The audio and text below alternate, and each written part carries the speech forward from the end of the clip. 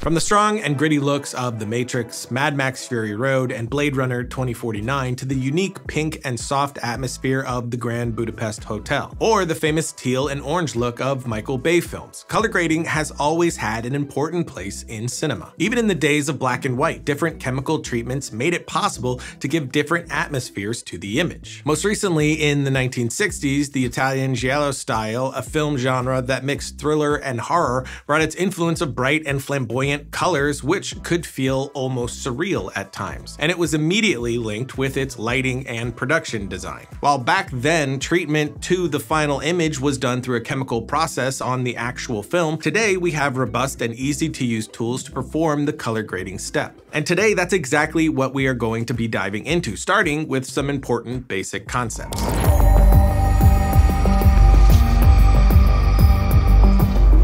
Grading is a post-production process, a final sweetening of the image. It shouldn't be the salvation of the image, so it is essential to lock in your look on the day, getting as much in camera as possible to create a consistent atmosphere through lighting, production design, composition, and so on. But once in post, there are two stages of color work, color correction and color grading. Color correction comes before our color grading step and consists of harmonizing our image to have a neutral base ready to be worked on.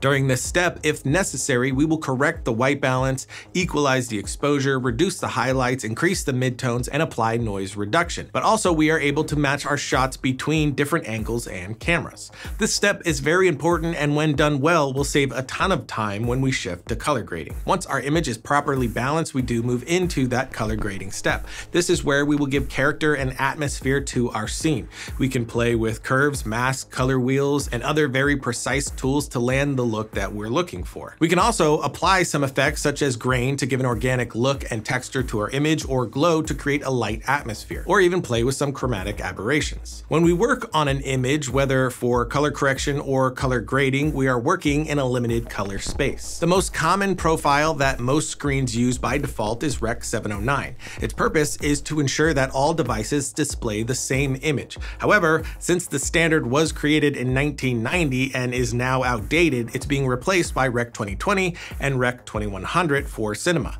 And with it, we get much more rich HDR color space. HDR, which stands for High Dynamic Range, allows for more brightness, very vivid colors, and deep blacks. Rec 709, Rec 2020, and Rec 2100 are essentially broadcast color spaces. In practice, if you want to export for editing for distribution on, say, YouTube, you can use Rec 709. For broadcast on Netflix, it's going to be necessary to use Rec 2020 or more precisely, the P3D65, a more realistic version of Rec 2020, since to date, no screen is capable of displaying all the nuances that Rec 2020 provides. There are also acquisition-specific color spaces. Each camera manufacturer offers its own color space optimized for its sensor. For example, Arri with their Alexa cameras provide Alexa wide gamut color spaces. Red offers the red wide gamut RGB and DJI the DJI D gamut. Not to be confused with gamma, gamut relates to color while gamma relates to brightness and contrast. In any case, the best way to see the color space is as a container. With most cameras, we have several options for how we capture our image. The first and most standard is to record in Rec 709. Our image is immediately usable. However, we will obtain an image with limited amount of information and are then limited in possibilities for color grading. Highlights will tend to clip quickly and shadows will contain only a few details. This is useful for fast turnarounds, but not when you want complete control over your image. Another possibility is to record in RAW. RAW saves as much information received by the sensor as possible, which gives us a very rich image. But there are some drawbacks for the uninitiated. Firstly, its size. RAW files tend to be much larger, which means the storage and overall workflow become much more complicated as a result. But you are getting a ton of a lot more useful data. RAW images are often recorded in 12 or even 14 bits, while in Rec 709 we generally stay at 8 bits. The amount of bits refers to the number of colors that can be obtained. To give you an idea, in 8 bits we have a maximum of 16 million colors. In 12 bits, it is almost 69 billion colors that we have at our disposal. The other problem with RAW, which is also what makes it interesting, is that the recorded image requires development or debayering. To be technically more exact, a RAW file is a mass of information and not an image itself. During this development process, it's us who will be able to choose which details we want to keep or not in our image. We will also be able to play with many parameters that would normally be baked in if we had recorded in Rec 709. For example, white balance, tint,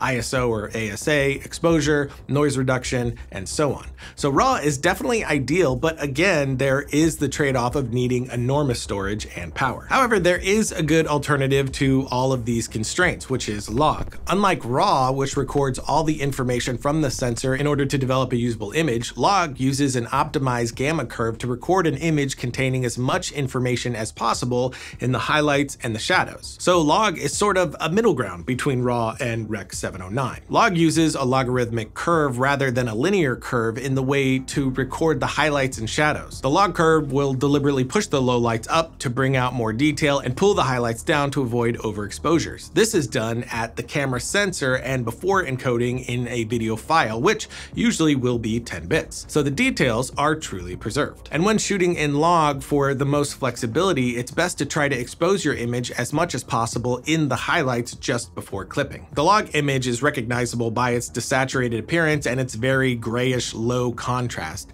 It's an image that cannot be used as is. When importing a sequence taken in log in our color grading software, we must define a conversion. Generally, it's going to be a log conversion to Rec 709, which again is the most used broadcast standard. Each camera manufacturer offers its own log profile adapted to its sensor. At Arri, it's the log C. At Sony, you have S-Log, S-Log 2, and S-Log 3. At Red, the Red log film. Each log must be converted in a certain way. Fortunately, current tools allow these conversions with one click. Or if you don't have that, all of our LUT packs that we sell on our Triune Digital store do have utility LUTs included that will do this for you. But thanks to log, we have an image rich enough to perform advanced color grading, but without the huge weight of raw files and its complex workflow. So it's really ideal for a colorist. ACES is a dynamic color grading process that allows you to work on original video files, whether in Rec 709, log, or RAW, without having to conform each sequence to a destination color space. So we can work on the full range of colors that each shot gives us. The conversion to destination color spaces is done at the end of the chain or at the end of the ACES pipeline. This makes it very easy to distribute a project on different platforms with different standards. For example, let's say you have an edit that includes clips recorded in log with a wide dynamic range and lots of highlights.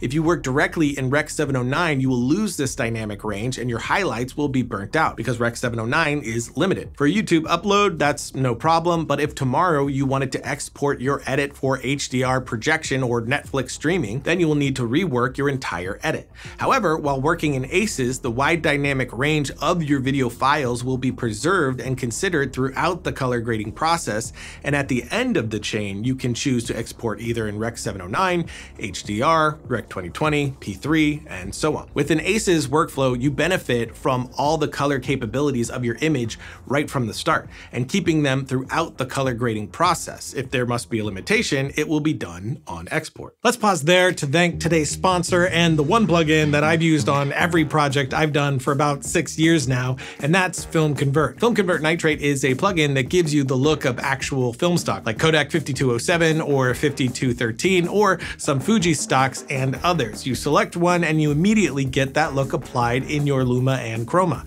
which you can adjust how much of the color and contrast are affected independently. It's also some of the best film grain out there. You can pick from different types as presets here, then can dive in further to customize exactly how you want it to look, more or less in the shadows or highlights, the size, amount, and so on. You also have great controls to dive in deeper and fully grade your piece from this one app if you wanted. It's a very powerful tool and one that I use as the finishing touch on every project I grade, including our latest short Century. Adding nitrate at the end of the line really unifies everything everything and takes it that last step to fully feel filmic. If you want to try it out for yourself, check out the link in the notes below and use the code FilmRiot to get 10% off of Nitrate. Logo. You've definitely already heard of LUTs, but what is a LUT? A LUT or a lookup table is a file containing instructions for replacing one RGB value with another based on hue, luminance, and saturation. Really, you can think of it as a color filter. A LUT only affects colors and luminance and cannot contain effects, so while a LUT can adjust your color and contrast, a LUT cannot add grain, vignettes, reduce noise, correct chromatic aberrations, and so on. LUTs are often used to facilitate color space conversions, for example, converting a log image to Rec 709 like we talked about before. They're also used for calibration of screens, and these type of LUTs would be called technical LUTs. An excellent use of LUTs in production is to see something close to the final intended image while shooting in log. Most monitors do have the ability to load a LUT, and many cameras do as well, so you could create a unique LUT that will be your final look or use a standard Rec 709. But then, of course, you have creative LUTs. Creative LUTs have many uses. They obviously facilitate the work of color grading by applying a ready-to-use look to the video clips that will harmonize the entire edit. They can also serve as a final touch or starting point for an intricate original look. And thanks to LUTs, we can easily switch from one style to another, auditioning looks and moving right along. LUTs also act pixel by pixel, so they are extremely precise. But it's important to remember that a LUT is just a tool, so its effectiveness depends on its use. A chainsaw is more efficient than a manual saw as long as you know how to use it correctly and don't lop your own arm off. The common mistake with creative LUTs is being overdone with their use. Almost all tools that support LUTs allow you to play with the intensity of the LUT. So, for example, if we use a LUT as a final touch, let's apply it to around 25 to 50% max for a solid end result without pushing it too far. Most video editing software offers built-in color grading tools. Some are more advanced than others, but all decent software will be good enough to get a workable end result. But the best bit of software for post-color is by far DaVinci Resolve. DaVinci Resolve from Blackmagic Design was initially exclusively dedicated to color grading and reserved mainly for pro colorists, but of course the software continued to evolve into what we have today, a complete post-production suite accessible to everyone since you can get it for free right now. There is a studio version that lets you get more, but the free version is loaded with everything that you would need to take your project all the way through post. There's several strengths that make Resolve one of the leading color grading tools. The first is its use of nodes. Like layers in Photoshop, nodes allow you to add adjustments and effects in an organized and non-destructive way. It's then easy to rework upstream and downstream of each step. The nodes also give you great visual workflow to facilitate the work. Then you have its masking capabilities and tracking tools. In a few clicks, we can select and correct the skin tones on an actor's face and track it to that area. We can also use power windows to isolate a part of the image and apply correction and effects to it, but you may not want to dive into Resolve or learn new software or get that advanced. In those cases, what you have is likely more than enough, like using the Lumetri panel in Premiere Pro or the tools in Final Cut Pro X. In the end, the software is just a tool. When we work on the color correction or color grading of an image, we absolutely have to control what we are doing with the scopes. Scopes may seem scary at first, but they are essentially tools that ensure that our modifications do not degrade the image so we can control the balance overall. Scopes are more reliable than our eye, so it's perfect for that use. There are many different scopes, but let's take a look at the three main ones. The waveform is a graph that gives you important information about your image. Your highlights and lowlights are represented vertically, with everything at the top being pure white and at the bottom pure black.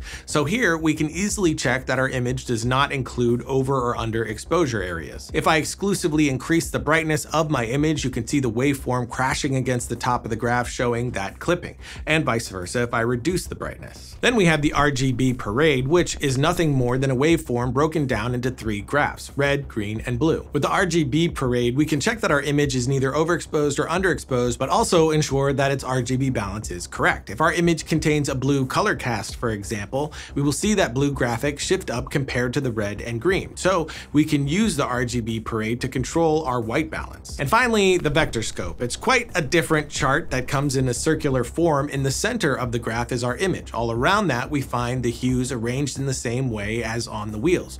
Red at the top, yellow on the left, blue on the right, green at the bottom. The more we move away from the center, the more saturation increases. If I deliberately push the blue to an extreme, we can see the graph moving away from the center. Therefore, a properly balanced image will be represented by a well-positioned graph in the center of the vector scope. The vector scope has a tool that can be useful, the skin tone indicator. In theory, the skin tones of our image should be positioned on this line. Otherwise, they will either be too pink or too orange. To check this, we can isolate the skin tones with a power window or a mask and look at where they are positioned on the vector scope. As you can see, the scopes are a very important tool since after a while your eyes may lie to you, but the scopes never will. You probably already know the RGB curve, which allows us to correct the brightness of our image as well as its contrast, either globally or individually on each channel, red, green, and blue. But then we have slightly different curves. The hue versus sat curve allows you to modify the saturation based on a hue. For example, if I wanted to increase the saturation of the blues, I can move up just that area here. Or I could use the eyedropper to select a color directly from my image. The sat versus lum curve allows you to modify the luminance of a color based on its hue. So if I position a point in the red orange, you can see I can lighten or darken the skin tones of this image right here. The lum versus sat curve allows you to reduce or increase saturation based on luminance, so we can adjust the color saturation in the highlights and shadows. And finally, the hue versus hue curve allows you to modify the hue based on a hue, like the skin tones. If I place a point right here, you can move up or down and you see the hue of the skin tones change drastically. It's a very convenient and quick way to do small adjustments. And now that we've had an overview, let's take a look at the entire process at work. Here we have a scene shot in log. My timeline is Rec 709, so I import my log clip and apply a log to Rec 709 conversion at the last node. We place it at the end so that we can work on the wide dynamic range of the image before that shift. For the second step, we'll do our color correction. First, we will correct the white balance and adjust the exposure, contrast, and saturation. My waveform and the RGB parade tells me that my image is properly balanced with no over or underexposed areas. On this scene, I want to create a teal and orange blockbuster type look, and I'll help that along with a creative LUT. Here, I'm using Bloodshot from our Cinematic B5 pack. This LUT is profiled for Rec 709, so I apply it after my conversion node, and like I said before, we are using it as a final touch, so we're going to set it to about 50%. Now we can do our color grading, using the white balance to influence how the creative LUT looks. I'll push some warmth into the highlights, then reduce the saturation a bit. Correct skin tones here, then I'll add a bit of glow for a cinematic look. And that is a very simple process to quickly get a solid look for your project. And of course, we are using our LUTs here. If you are interested in finding out more about those, check the link in the notes below. We have all kinds of different looks from horror to action and everything in between, so jump over to triunedigital.com for more of that. But we're also going to be doing a lot more color grading tutorials, so if you aren't subscribed, consider doing that and hit the bell to be notified when we do put up new stuff. Until next time, don't forget to write, shoot, edit,